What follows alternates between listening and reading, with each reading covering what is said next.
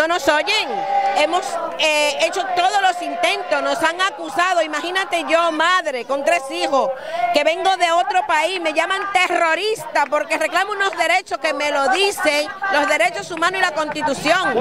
Mientras yo sea una ciudadana que cumpla con los derechos, con los deberes, con las normas y con el respeto que se le tiene a las leyes de un país, yo no puedo ser terrorista. Yo soy una ciudadana luchadora por mis derechos. ¿Por qué? Porque la plataforma afectada por la hipoteca es la única que ha cogido y ha escuchado a esas personas que no han querido escuchar. Han hecho una nueva ley, han hecho tres, pero es que la tercera, que no se acoge nadie, yo no me acojo, porque yo no tengo en casa un niño de tres años, más todo lo que piden.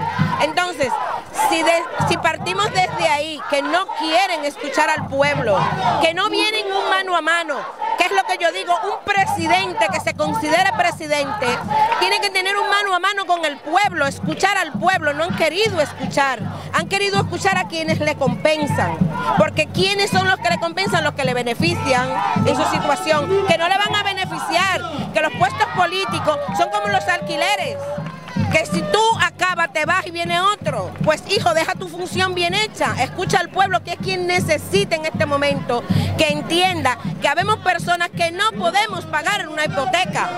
Yo de momento estoy trabajando, pero tengo una amenaza, una alerta. Y si yo me quedo sin trabajo como se quedó mi esposo, ¿con qué yo pago 930 euros?